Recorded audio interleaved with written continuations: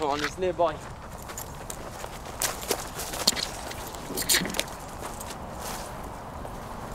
Look, I, I told you, true artistry doesn't just disappear. It's built to last like the walls of those abbeys. What's it been? 500? 600 years? Oh wait, you don't remember, do you? We've been looking for it so long, you've forgotten what we're looking for.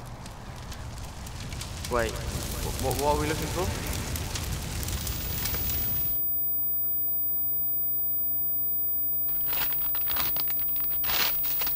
Could you maybe be quiet? Because the show's about to start and you're making a lot of noise. How can I eat without making noise? Well, we're very impolite and we have a guest. So, you know, whatever. Good evening, ladies and gentlemen. Today we have a poem sent in to us all the way from somewhere else. A poem? Boring!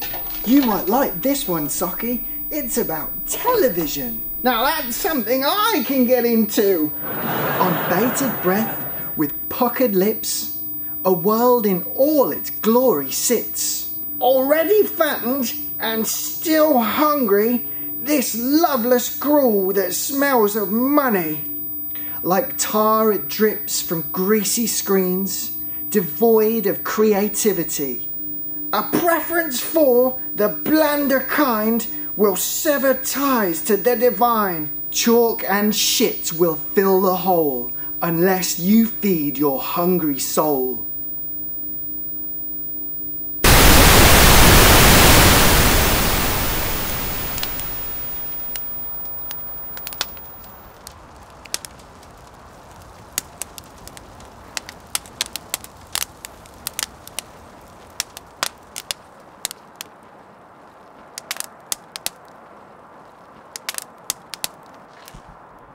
Don't look so sentimental. They're old paintings. What did they ever do for you? Do you want to burn this one as well? It's quite a nice one. As I told you, burned a lot. Out with the old, in with the new. Honestly, what use have we got for all that rubbish when we have these? Have you seen this one? Everyone has seen this one.